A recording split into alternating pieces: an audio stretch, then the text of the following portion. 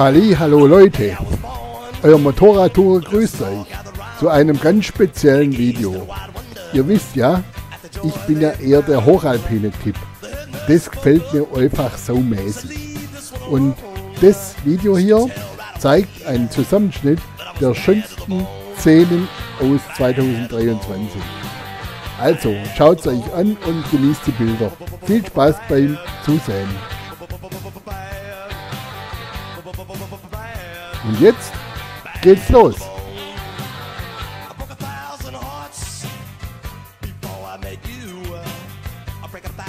Und wer von euch kennt die Hochfahrt?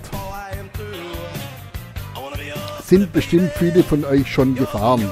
Also Timmelsjoch, Auffahrt von Zölden. Am Eröffnungstag 2023, ich weiß gar nicht mehr, das war irgendwann im Mai.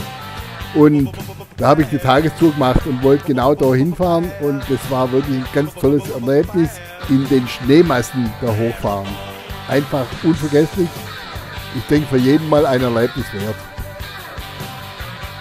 Über die Höhenangaben des Timmelsjochs gibt es unterschiedliche Angaben. Auf dem Schild steht 2509 Meter, aber die genaue Berechnung der Tiroler Regierung sagt 2474 Meter. 1241 erstmalig erwähnt, 1897 den Bau beschlossen, aber erst 1955 bis 1959 auf der österreichischen Seite von Hochgrogel gebaut. Und 1968 wurde dann die italienische Seite bis ins Passaiertal ausgebaut. Also noch gar nicht so alt. Und weiter geht's. Drei Wochen später wieder Abfahrt Timotjoch Richtung St. Leonhard, Passaiertal. Jetzt doch bei wesentlich weniger Schnee.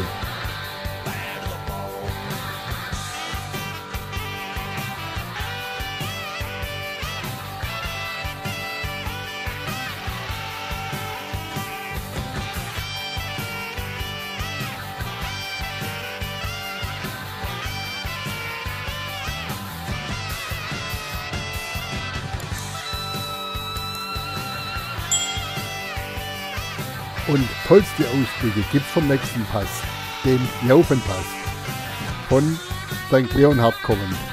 2094 Meter hoch, erstmalig erwähnt im Jahr Punkt, Punkt, Punkt, 200 nach Christus, unglaublich.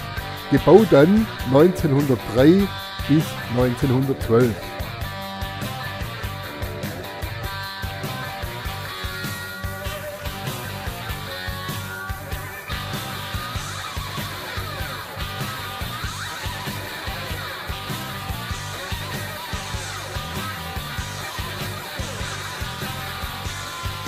Weiter geht's von Stürzing aus über das Penseljoch nach Bozen. 2211 Meter hoch. Wie man liest, verkehrstechnisch keine Bedeutung mehr. Aber für uns Motorradfahrer natürlich eine große Bedeutung. Toll zu fahren, wirklich absolut toll. Zu beachten die lange Wintersperre.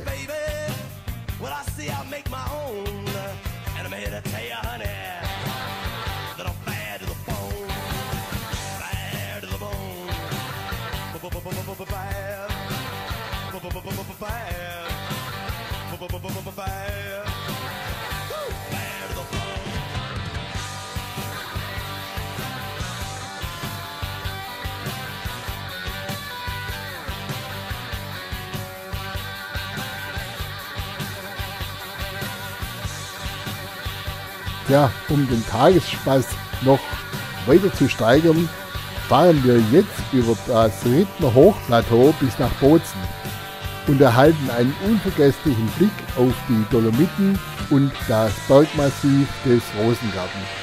Perfekt, wirklich perfekt.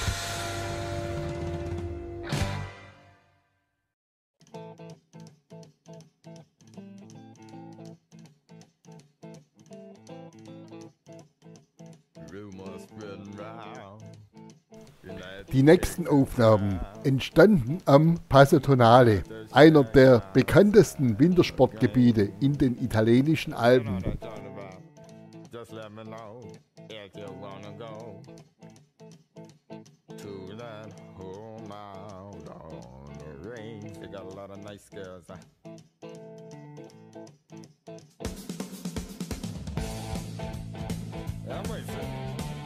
Und weiter geht's über den Passo Duron zum Gardasee.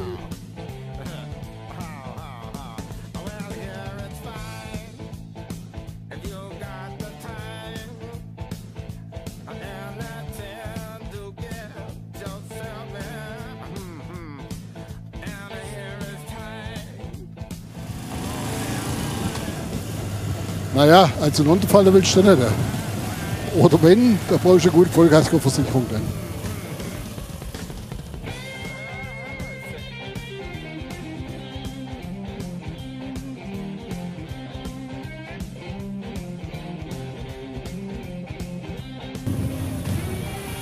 Das ist fein geschottert, das ist gut zu fahren.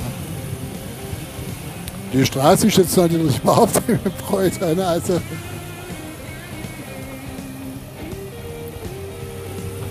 Super. Auch noch einmal eine zeigenswerte Strecke, wirklich. In Anfo am Lago di Idro sind wir dann links weggefahren zum Passo Maniva, der 1664 Meter hoch ist. Eine wirkliche Abenteuerfahrt. Größtenteils geschottert sind wir dann erstmalig über den Passo de la Spina und sind dann zum Passo Maniva gekommen.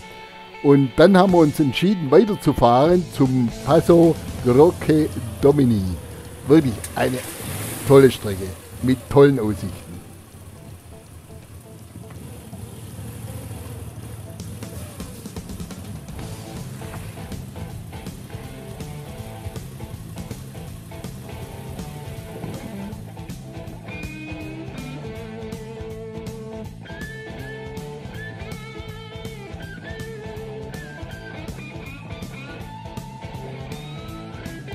Ja, und weiter geht's. Die Pässefahrer unter euch werden ihn sofort erkennen. Den anspruchsvollen Gavia Pass, der auf 2621 Meter hoch führt. Hier von der Südrampe aus gefahren und der Gavia Pass war schon zur Steinzeit bekannt. Die ersten Fahrten darüber, die habe ich noch gefahren auf Schotter. Da war noch nicht durchgehend geteert das hat erst so in den Jahren, ich glaube zwischen 1990 und 95 stattgefunden. Aber er ist immer noch wirklich anspruchsvoll zu fahren und Anfänger, die sollten wirklich mit Bedacht fahren, wenn sie darauf und runter fahren. Schlechte Beläge, uneinzählbare Kurven und steile Abhänge. Also das muss man wirklich erstmal gewohnt sein.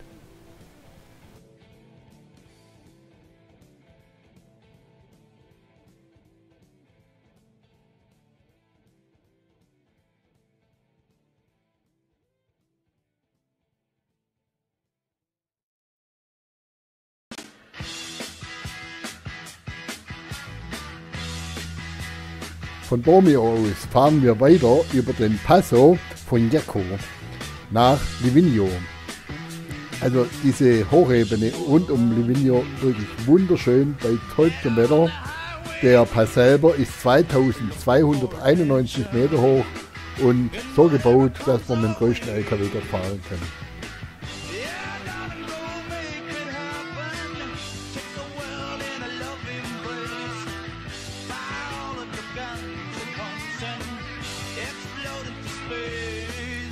Es ist ja unglaublich, was in diesem Städtle Livigno los ist.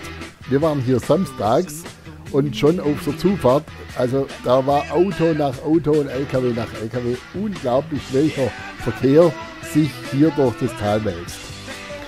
Aber ja, man kann hier oben zollfrei einkaufen. Das sollte man euch auch merken zum Tanken. Das ist ja schon einiges günstiger, wenn man in Italien oder gar in der Schweiz nachtankt. So, weiter fahren wir jetzt zum Livigno-See. Der liegt auf 1805 Meter und stellt mit der Staumauer die Grenze zwischen der Schweiz und Italien dar. Natürlich durch den Tunnel Mautpflicht.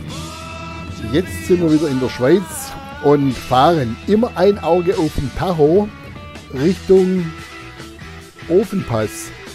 Und dann geht es weiter zum Umprallpass, den wir dann hochfahren Richtung Stilfseejoch.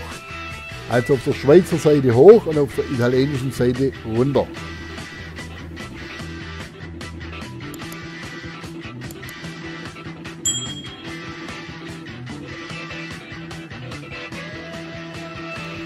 Der Ofenpass liegt im Kanton Graubünden und ist 2149 Meter hoch und von oben hat man einen sehr schönen Blick auf die Otter Alpen, aber den haben wir natürlich nachher noch besser, wenn wir das Stilfsee auch runterfahren.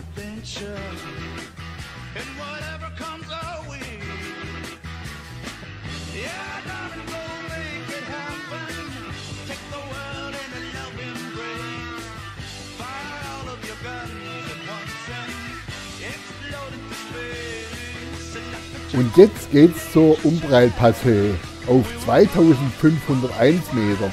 Immerhin der höchste Straßenpass in der Schweiz. Auch sehr schön zu fahren und nicht ganz so eng wie Stilfseejoch.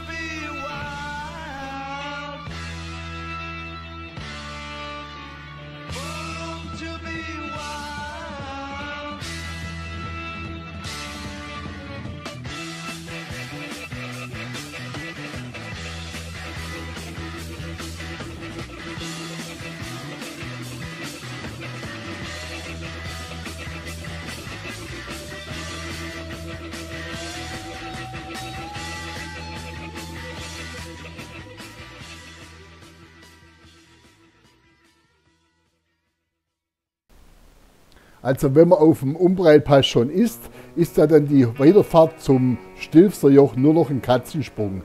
Und da fahren wir jetzt gerade.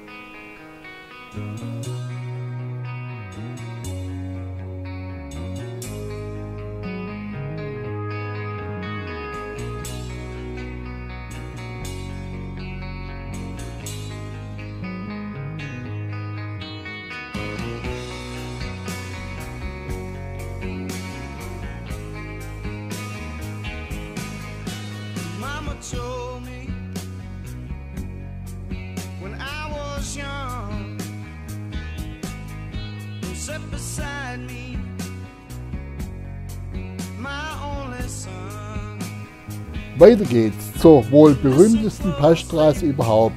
Der zweithöchste befestigte Straßenpass in Europa. Ihr wisst von was ich spreche, dem Stilfserjoch. Wir sind jetzt den Umprallpass hochgefahren und an diesem Samstag, Anfang Juni, sind gefüllte 2000 Fahrradfahrer, 3000 Motorradfahrer und ich weiß nicht wie viele Autos da oben zum Parken. Ihr es ja auf den Bildern. Also irre, was an diesem Samstag los war. Aber gut, wir sind natürlich auch noch drüber gefahren. Und ja, die Aussichten, wolkenloser Himmel und so weiter, das entschädigt natürlich für vieles. Und vor uns sind jetzt die 48 Kehren bis nach Brat runter. Da freuen wir uns natürlich auch schon drauf.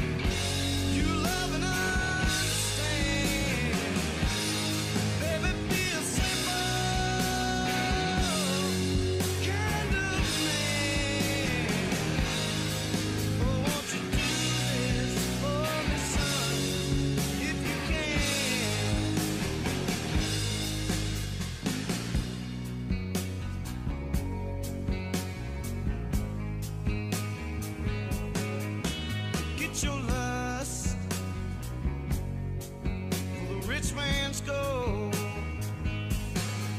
Oh, All that you need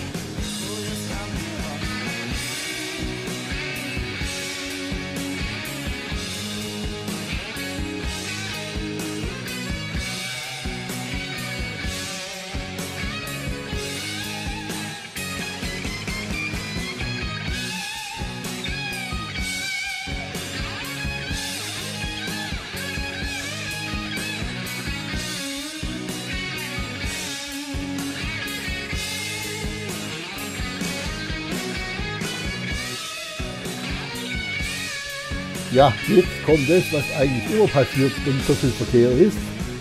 Einmal nicht aufgepasst und der Junge mit seiner GS 1250 legt sich Ehre 15 auf die Seite.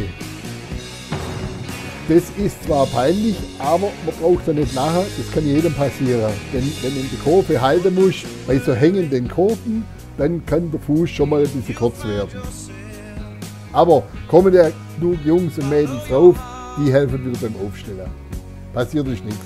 Das ist das try.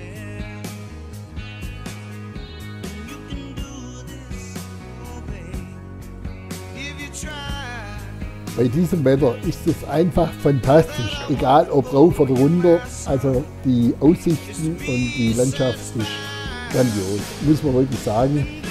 Und viele von viele Mitfahrer von mir, die nicht so große Erfahrung haben, für die ist es wirklich eine Aufgabe, da rauf und runter zu fahren, weil die Spitzkehre natürlich nicht so einfach zu fahren sind. Setzt etwas Fahrpraxis voraus. Aber bis jetzt habe ich doch alle mit heimgebracht. Also das ist doch einfach irre, welche schöne Landschaften man doch als Motorradfahrer sieht. Also am Anfang dieses Videos war ja diese Tour Mitte Mai oder wenn das war in, an Timmitzjoch bei richtig noch Schnee. Dann drei Wochen später, und ich denke, das braucht man auch, wenn man die Pässe möchte, also so ab Mitte Juni war das dann die zweite Tour. Es ist irre, wie viele schöne Momente das es da auf so drei, vier Tagen gibt. So, und jetzt kommt das Highlight von 2023. Das war die Schottertour in die Westalpen. Dürft ihr jetzt auch auf die Bilder gespannt sein. Wirklich ganz tolle Aufnahmen.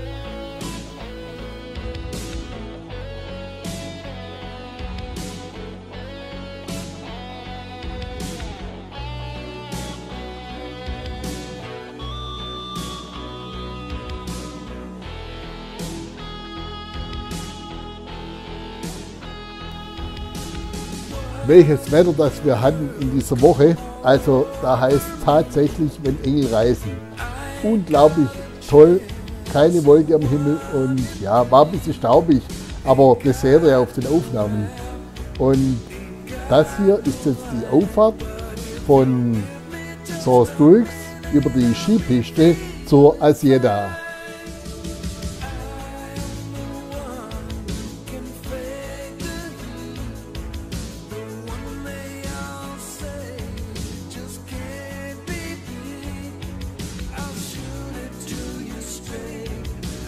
Also dieses Erlebnis in der Natur zu fahren, über uns nur noch der freie Himmel und die Aussicht auf die Berge rundherum, also für mich ist das das Schönste, das es gibt. Das könnte ich wirklich immer machen. Also obwohl es anstrengend war natürlich, aber einfach so eine tolle Aussicht den ganzen Tag, das ist genial, wirklich.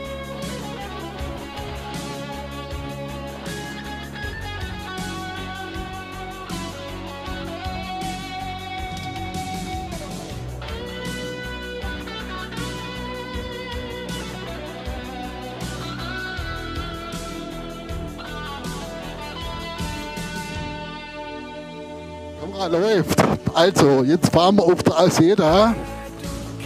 Und also auf der richtigen Alseda. Die andere vorher war die Zufahrt. Das war auch nicht schlecht. Aber hier sind wir jetzt dann schon auf 2200 Meter Höhe und genießen die Steinchen. Die Jungs haben schon gesagt, ich würde wohl ein bisschen stauben, aber was soll ich machen? Irgendwas ist ja immer. Vorsicht, kommt der Motorrad.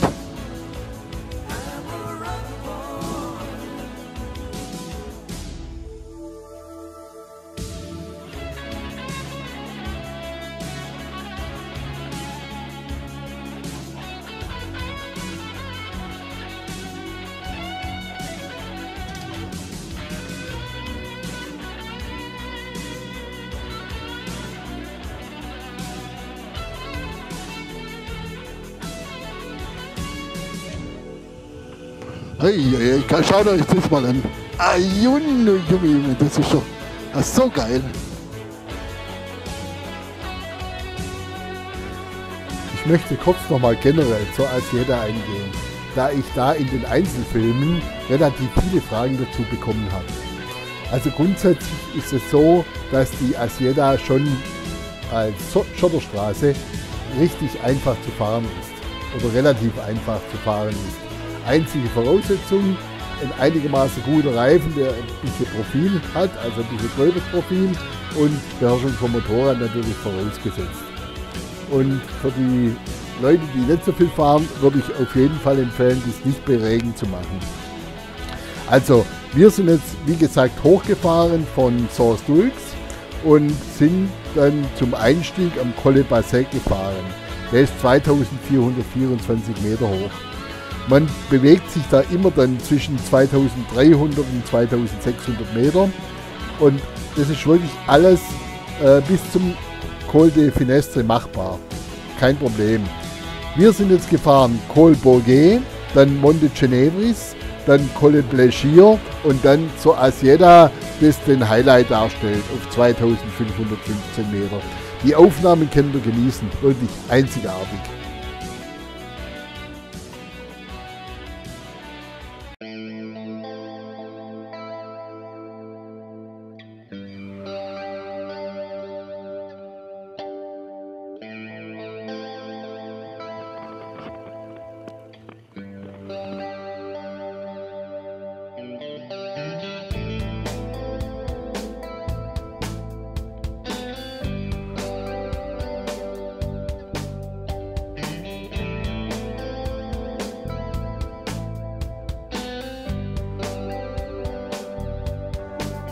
Faszinierend.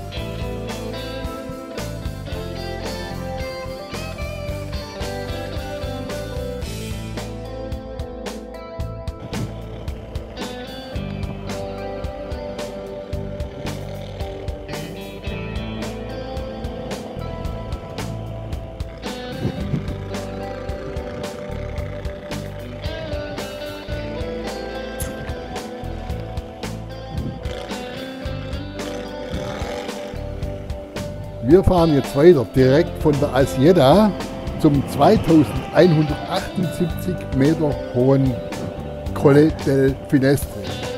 Der untere Teil ist asphaltiert, dann kommt ein Schotterteil und dann kommt wieder eine asphaltierte Straße, die dann hochgeht bis zum Pass. Auf der anderen Seite fahren wir dann weiter Richtung Meana di Susa. Das ist dann komplett wieder geschottert. Die Aus- und Weitsichten von hier oben, die sind einfach unbeschreiblich schön.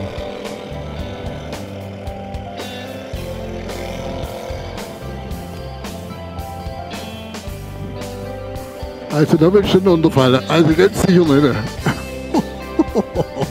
Links im Bild fahren wir jetzt vorbei am Forte Sierra Marie. Gebaut 1892 und sollte die Annäherung über den Colle Finestre verhindern. War mit rund 200 Mann besetzt und kam im Ersten und Zweiten Weltkrieg zum Einsatz. Der Einsatz da oben, das war sicherlich auch nicht immer leicht.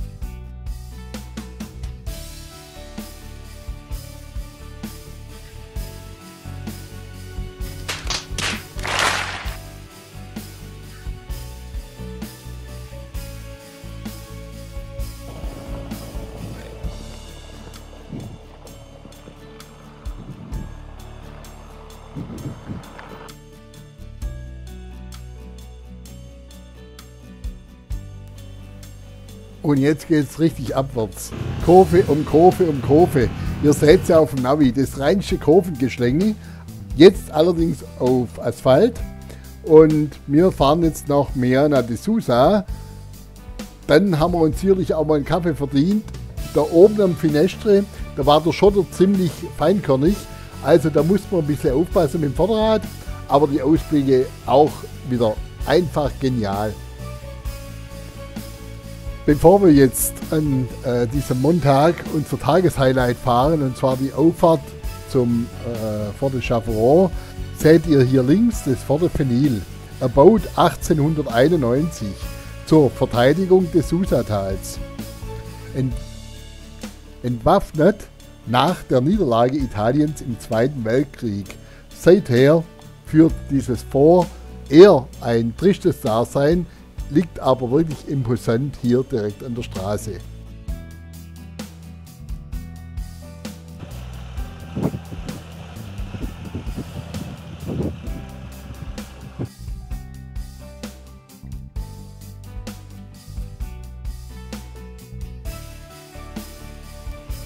Hier links fahren wir jetzt vorbei in 2158 Meter Höhe am Forte Bramant. Ich hoffe, ich spreche es richtig aus. Von hier aus wurde im Ersten und Zweiten Weltkrieg geschossen und die Geschütze seiner Zeit waren auf dem Dach montiert.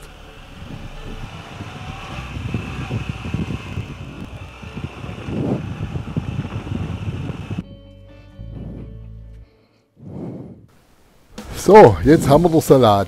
Jetzt sind wir die 10 Kilometer von Eklaus hochgefahren und haben dieses Schneebrett vor uns. Und wir haben jetzt wirklich kollektiv entschieden, dass es einfach für uns zu gefährlich ist, da durchzufahren. Und wir drehen jetzt um und fahren wieder die 10 Kilometer entspannt runter.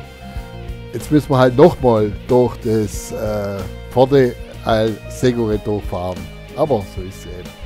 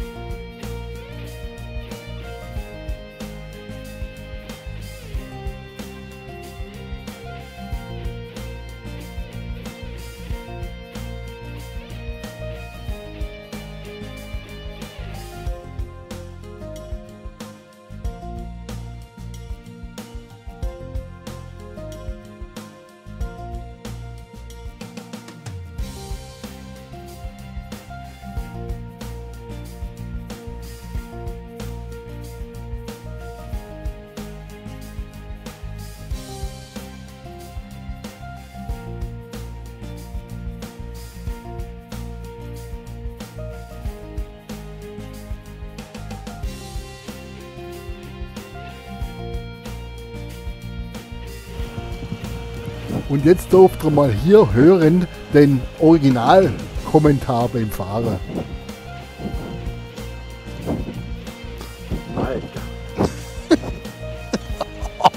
Jo, ey, ey, Das war gelogen, das Schlimmste kommt noch.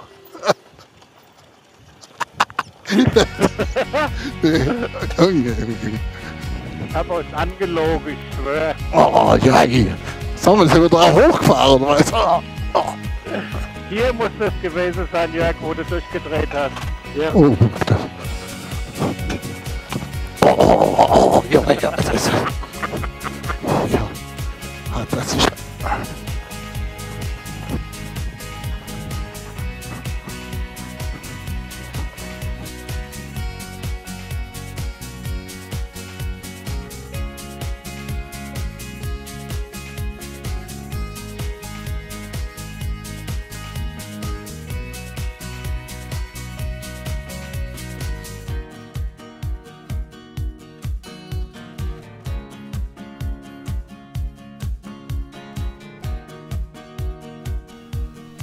Das war ja jetzt wirklich ein ereignisreicher Tag.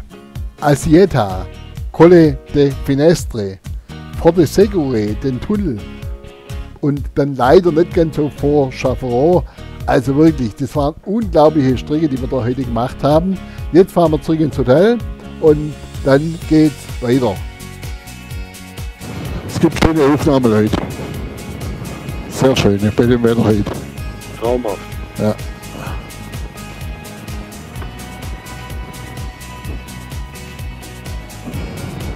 Fotograf ist noch nicht so weit. Halt komm. Zu früh. Eieiei, geh nicht. Da brauchen wir schon mal Griffefoto gar nicht gucken. Oh, da kommen zwei Rennfahrer. oh, oh, oh.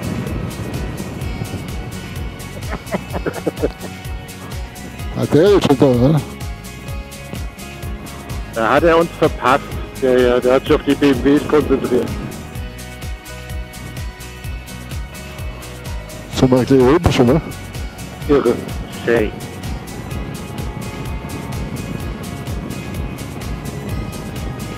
Ah, guck mal, die Bauarbeiten sind beendet. Wie die das gemacht haben, hier rechts Parkplatz jetzt und links das Dingsbums da. Bumsdings, genau. Der Pondi, der Pondi Ziglion. Guck mal hier hinter, das ist das super, oder? So, jetzt fahren wir also auch auf ihr. Auf der D902, Route des Grand Alps. Da muss man einfach hin, wenn man hier in die Westalpen ist. Wir fahren jetzt von Briançon zum Col d'Isoire, 2360 Meter hoch. Richtung Süden eine irre Aussicht von hier oben. Der wurde 36 Mal im Programm der Tour de France gefahren, hat aber verkehrstechnisch nur noch eine geringe Bedeutung, was uns Motorradfahrer aber überaus freut. Einfach geile Aufnahmen von hier oben.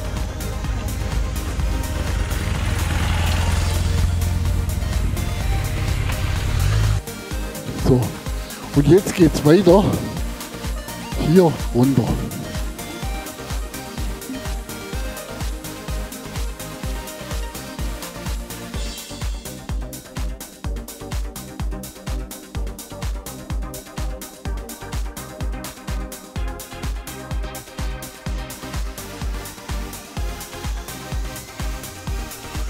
Unglaublich die Abfahrt vom Col d'Isoire.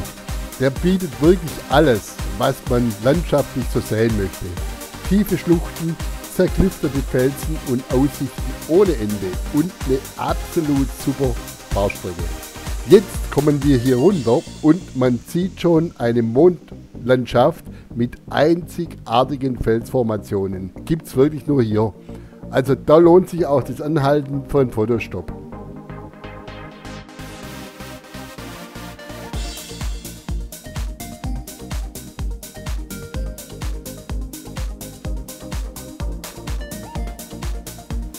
Für uns geht es jetzt weiter von der nördlichen Seite her kommt auf der D205 zum Col Agnel.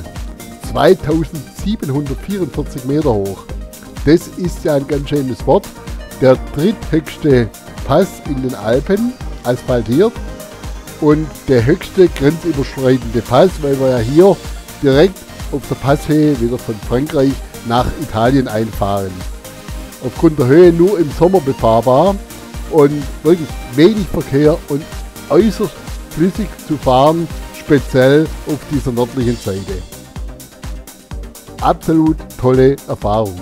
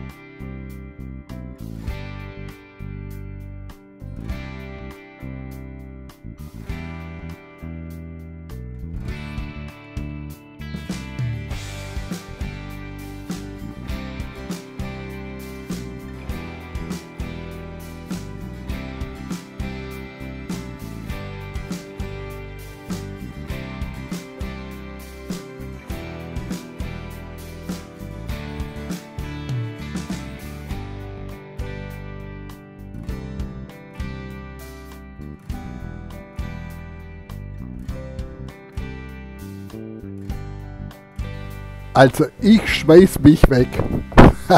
Steht in der Mitte im Weg, das hat sich der Rolf natürlich nicht nehmen lassen und hat die junge Dame begrüßt, nachdem sie mit in der Straße stand.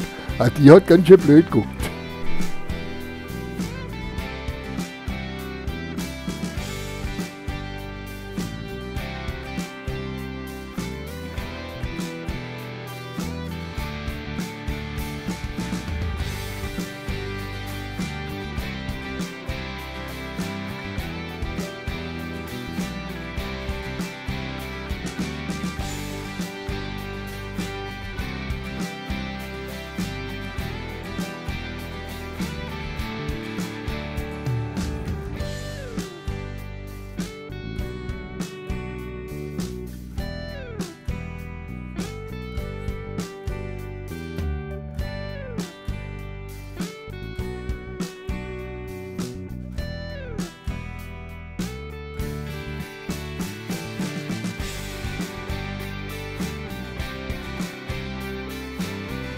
Das war er also jetzt, der Kohl Agnell.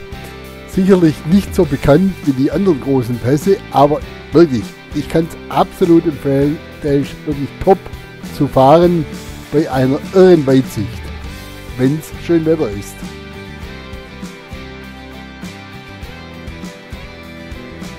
Ja, und einen Tag später dann das. Wir sind auf der Vareita Mayra Kammstraße und hätten eigentlich wirklich eine ganz absolut irre Aussicht auf die Berge rundherum. Ja, die Vareita Mayra Kammstraße. Bis auf 2336 Meter. Und wirklich recht grober Schotter. Und nur für erfahrene Motorradfahrer geeignet. Weiter geht's dann auf der Mayra Stura Kammstraße von Marmora aus. Landschaftlich ein absoluter Leckerbissen mit unglaublichen Weitblicken. Die 25 Kilometer lange Strecke liegt auf der gesamten Strecke zwischen 2 und 2500 Meter. Unglaublich, welche Aussichten das man hat. Und nachdem der Nebel weg war, oder beziehungsweise nachdem wir dann über dem Nebel gefahren sind, hatten wir eine Aussicht, das seht ihr auf die Bilder, einfach irre.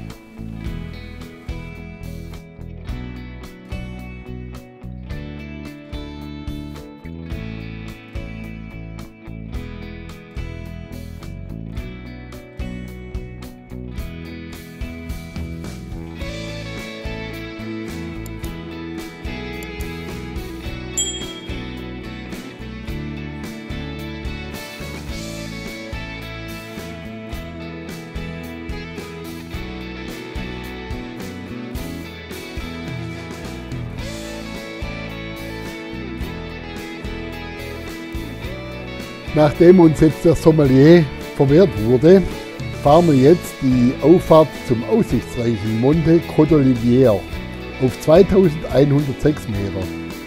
Auch hier die Ausblicke wie überall hier in den Westalpen unglaublich schön.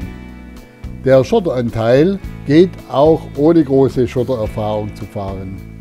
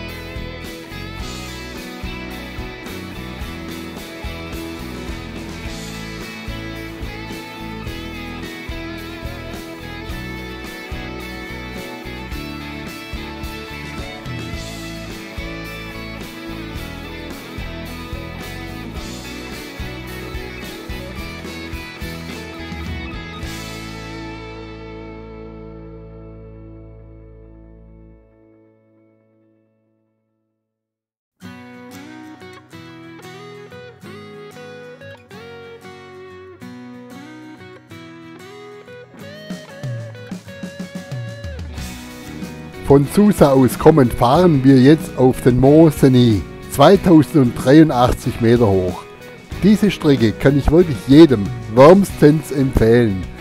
Eine Top-Kurvenkombination, sehr flüssig zu fahren und da oben natürlich ein ideales Ausflugsziel für uns Motorradfahrer und natürlich auch für viele Wohnmobilisten, die wir unterwegs dann auch überholen können.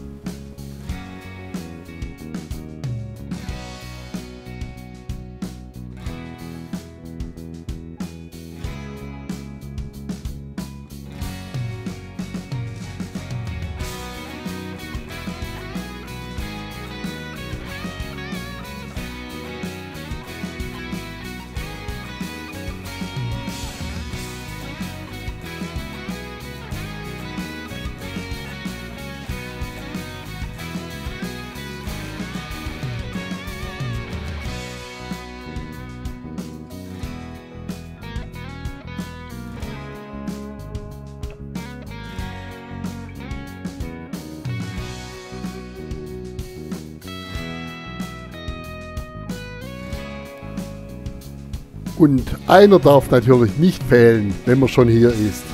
Der höchste von allen. Der 2770 Meter hohe Col de Liseron. Teil der Route de Grand Alp. Ein unglaublich flüssig zu fahrender und von der Aussicht her unglaublich schöner Pass. Äh, das erste Mal übrigens, dass ich den fahre bei schönem Wetter. Normalerweise hat es immer Nebel oder hat es genießen oder sonst was. Und 2023 war der Moment, in purer Sonne darüber zu fahren. Ein absoluter Höchstgenuss.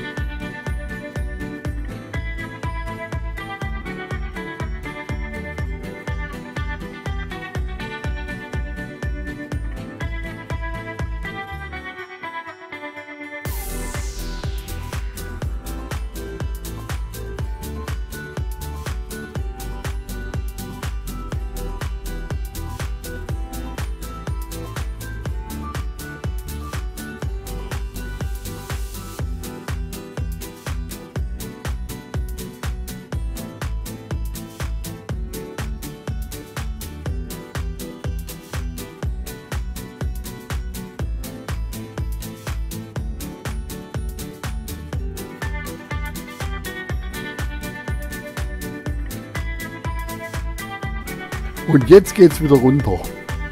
Eieiei, ich weiß nicht, ich bin ja eher der Hochfahrtyp, ich weiß nicht, warum das so ist, aber ich fahre lieber den Berg hoch wie den Berg runter, aber in diesem Fall, also diese Landschaftsaufnahmen, die sind wirklich einzigartig.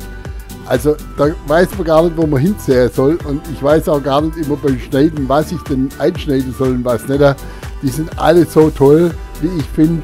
Auf jeden Fall fahren wir jetzt runter nach Val d'Isère und das ist absolut Hochgenuss bei diesem Wetter.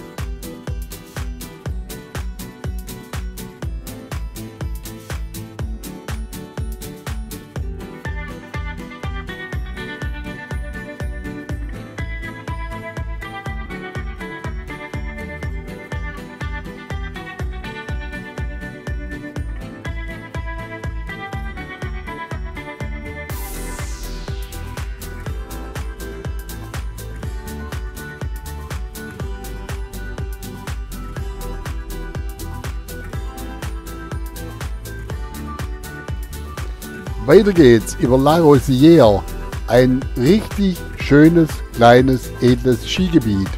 Ich kann mir schon vorstellen, dass da im Winter aber absoluter Bär steppt. Und dann geht's weiter Richtung kleiner St. Bernhard. 20 Kilometer südlich vom Mont Blanc Massiv. Auch Aussichten Äh, Das könnt ihr im Video sehen. Also das ist einfach grandios hier in den Westalpen.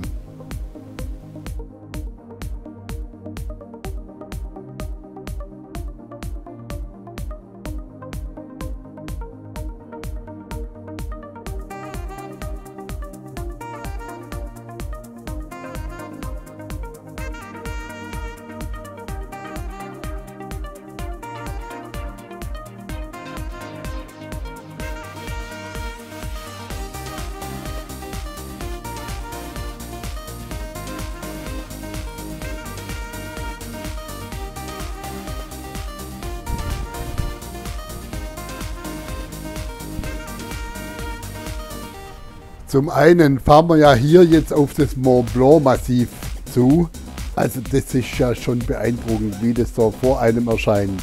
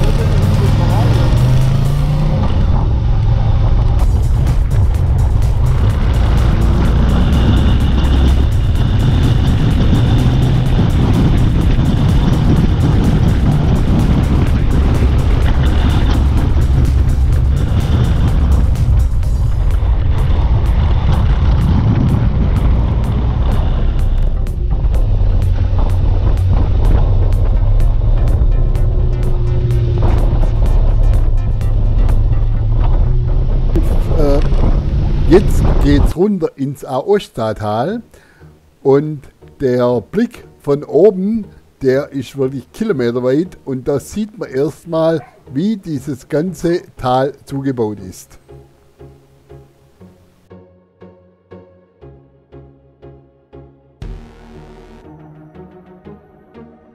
Ten seconds.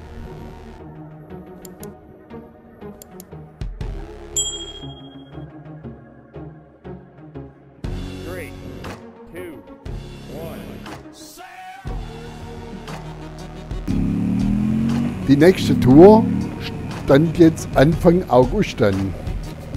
Und da machte mir das Wetter einen Strich durch die Rechnung. Wollten wir doch eigentlich nach Slowenien und ins Friaul fahren. Aber aufgrund eines extrem schweren Gewitters und Niederschläge waren dort die meisten Straßen nicht passierbar. Also kurzfristig Richtung Frankreich. Wir fahren jetzt hier über Lac Boisset.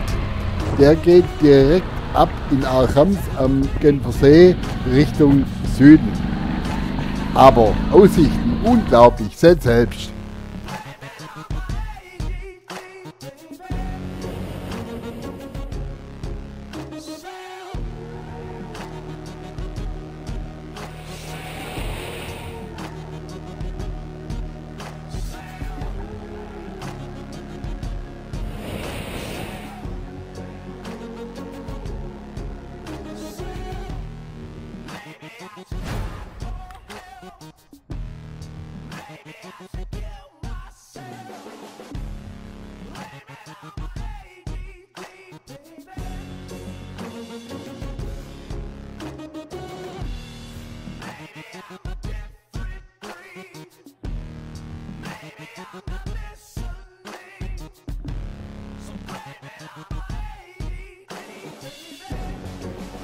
Und hier geht es jetzt von Plumet aus kommend über den Col de Saissis nach Albertville.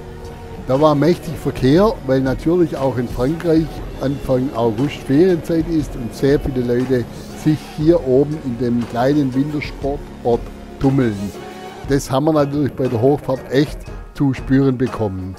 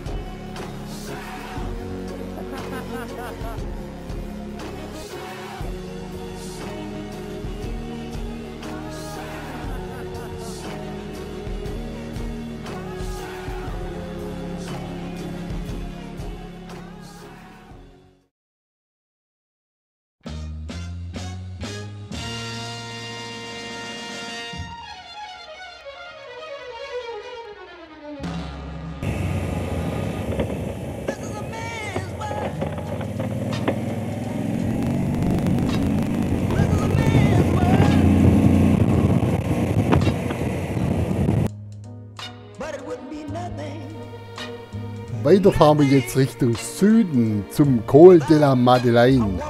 1993 Meter hoch. Recht optimistisch haben sie auf das Schild oben 2000 Meter geschrieben, was nicht ganz der Wahrheit entspricht. So wie man über den Scheiden des Passes kommt, hat, hat man eine irre Aussicht Richtung Briancourt und Richtung Col de Galibier. Also die Abfahrt Richtung Süden ein absoluter Hochgenuss.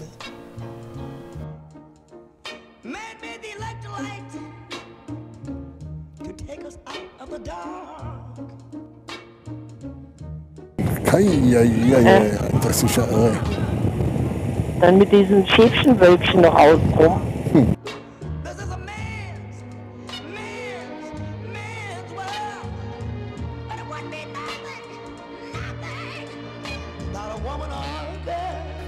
Ja, wenn man hier vom Süden der Republik kommt, dann kennt man wirklich diese Wintersportorte hier in den Westalpen fast gar nicht. Das Einzige, man hört es immer wieder im Fernsehen, wenn da Ski-Weltcup oder Skirennläufe durchgeführt werden. Und jetzt sind wir an so einem Ort, und zwar in St. François Longchamp. Das ist also wirklich ein sehr bekannter Wintersportort. Und ihr seht auch hier an den Bauten, da ist wirklich alles ausgelegt auf Wintersport.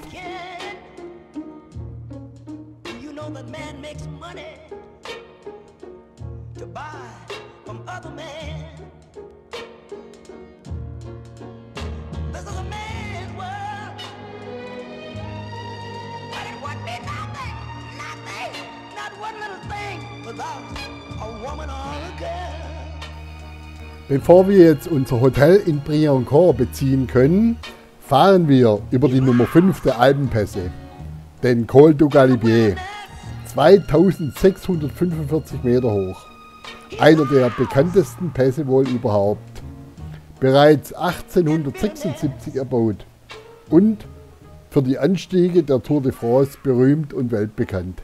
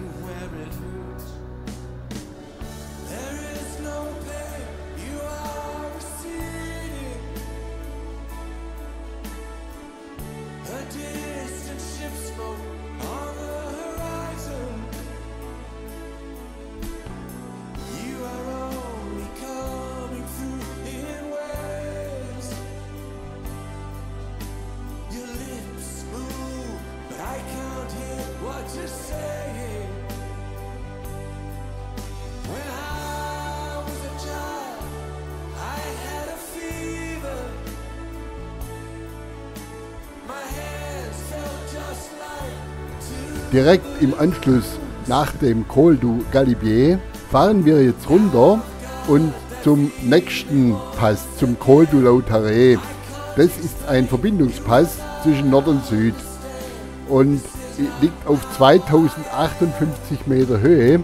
Die Abfahrt nach Briançon hat es auch nochmal in sich, also alles sehr breit und gut zu fahren, aber Aussichten wie den ganzen Tag schon heute grandios. Es ist zwar schon 17.15 Uhr, aber auch der Verkehr oben im Galibé war alles andere als wenig. Also normalerweise ist ja tote Hose, wenn man die Zeit hochfährt. Aber gut, es ist Ferienzeit und es sind sehr viele Menschen da oben wandern bei dem schönen Wetter.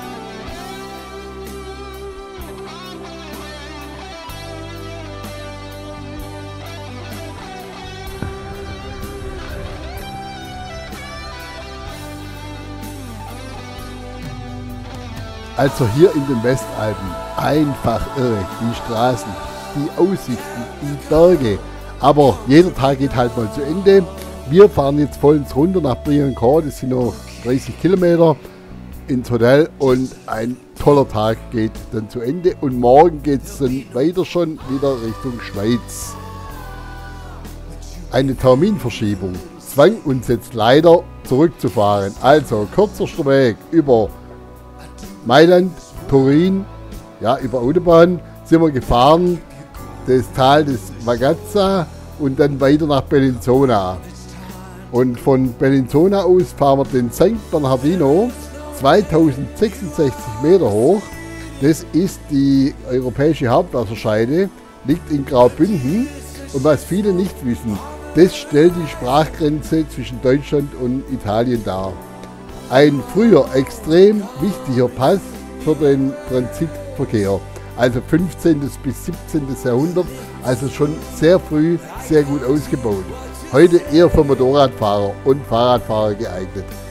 Auch macht richtig Laune zu fahren.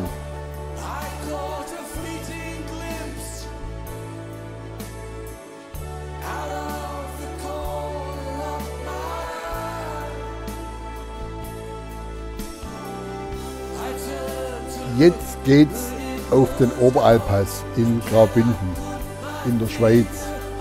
Hervorragende Straßenqualität, sehr einfach zu fahren und das ist in der Schweiz natürlich immer ein bisschen mit einem Auge auf dem Tacho. Der Oberalpass verbindet die Sentis in Graubünden mit Andermatt im Kanton Uri, genauso wie wir auch gefahren sind.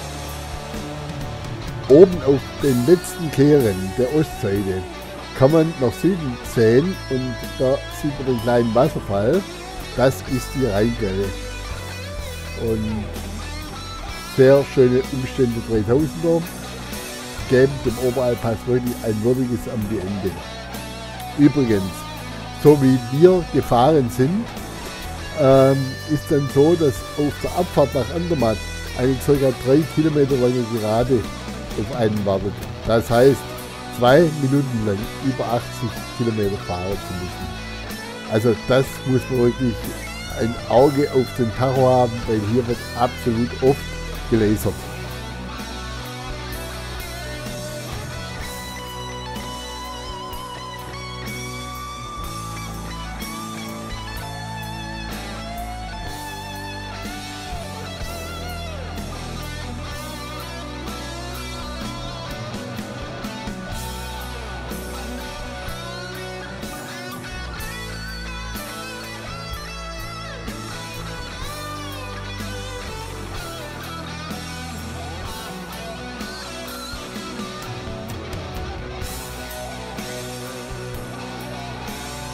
Von Andermatt aus kommend fahren wir jetzt nach Clarius.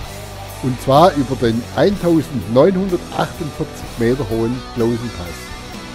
Aufgrund der Streckenführung gilt er als relativ anspruchsvoll, was jedoch mehr für Autos wie für Motorräder gilt.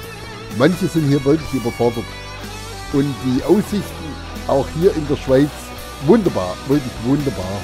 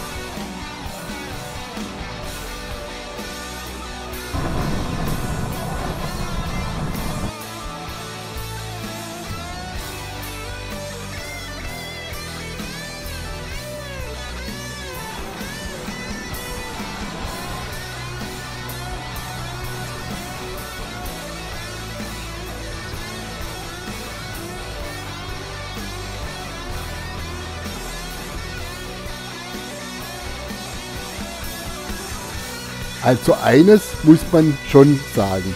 In der Schweiz wirklich hervorragende Straßen, ganz tolle Aussichten und da kann man über die 80 km/h auch hinwegsehen, weil man sieht einfach was von der Landschaft.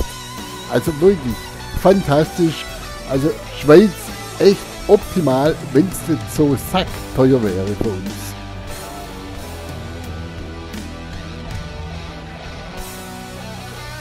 Ja, und Anfang Oktober war es dann soweit. Die letzte Tour 2023 sollte fahrbar sein. Bei schönstem Wetter fahren wir nochmal nach Österreich, um die Täler etwas zu erkunden. Hier fahren wir jetzt die Piller Höhe runter Richtung Kaunertal. Das sollte auch nochmal ein ganz besonderes Erlebnis werden.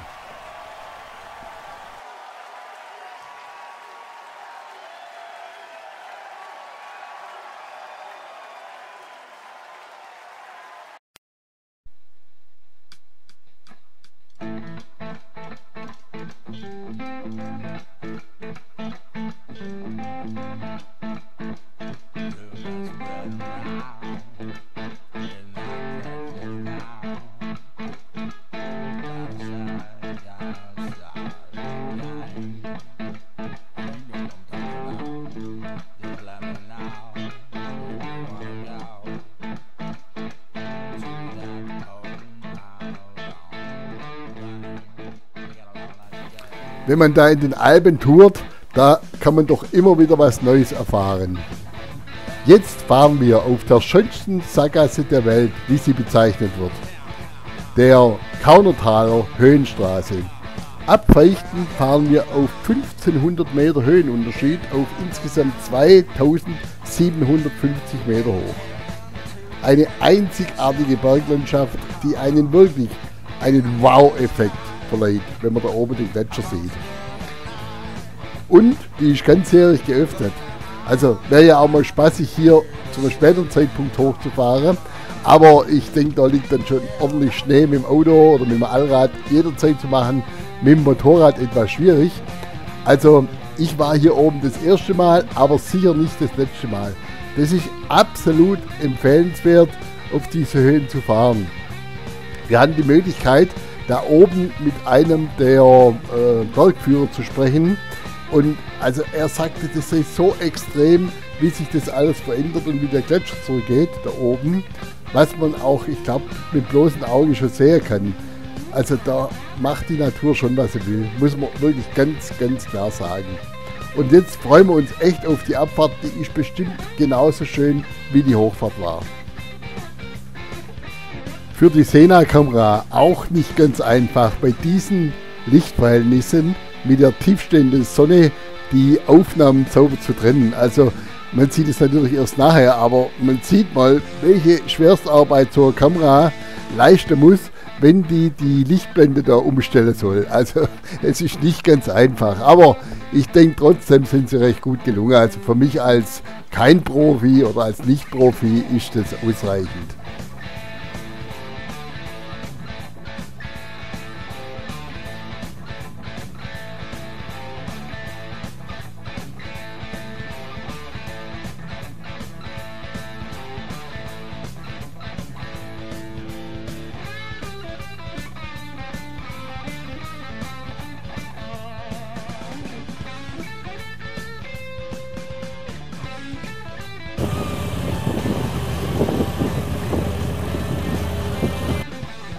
Weiter geht's für uns zur nächsten Traumstraße für Genießer. Wer kennt sie von euch? Ich denke, sehr viele sind sie schon gefahren. Die Silfreda Hochalpenstraße. Wir fahren jetzt von Galtür hoch auf 2032 Meter zur Bühler Höhe. Und dann fahren wir ab nach Partennen, damit wir jetzt langsam wieder Richtung Heimat kommen. Bei wirklich heute bestem Wetter es ist ein bisschen kalt. Unten im Tal hat es so 2 Grad gehabt, also da braucht man doch die Griffheizung. Oder ich froh, wenn man eine Griffheizung hat. Genießt einfach jetzt die Aufnahmen. Das sind ein, ein der letzten jetzt für 2023 und ich habe das voll genossen.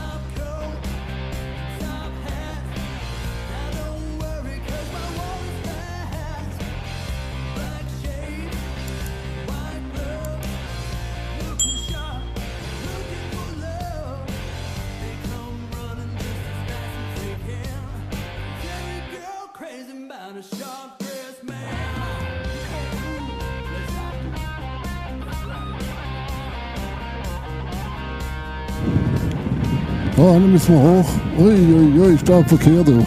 Das ist schon zum Brille. Zwei Pässe stehen noch an bei mächtig Verkehr, der Arlbergpass und Hochdannbergpass Richtung Bregenzer Wald. Also da war wirklich was geboten an diesem 3. Oktober auf der Straße.